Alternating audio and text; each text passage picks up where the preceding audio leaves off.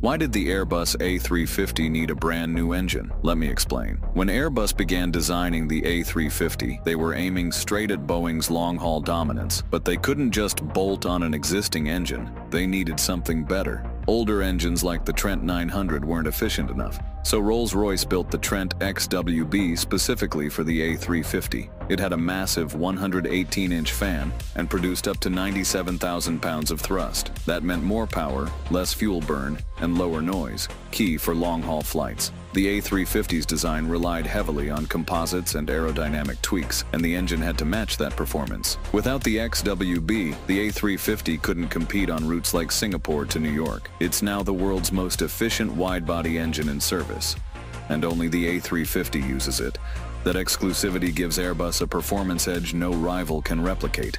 And it's one of the key reasons why the A350 became the flagship for ultra long-haul travel.